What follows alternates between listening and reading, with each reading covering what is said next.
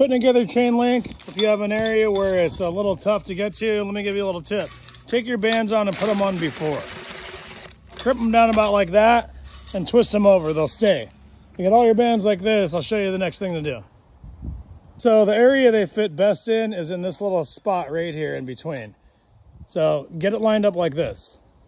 So grab your tension bar and start sliding it down. As you slide it through your diamonds, you'll get to the next band, which you can put one in. As you see, it's getting ready to line up. And you can slide your bar down like this. Up going, you can knock them around with your pliers if you want. Uh, like I said, got one hand right now, but that's what it would look like. And so you can put your bands on and slide your tension bar down while you're going down there so you don't have to do them one at a time or reach through the fence. Put your bar in and just lock them up. You don't have to crawl over here in this little ravine and worry about uh, falling in.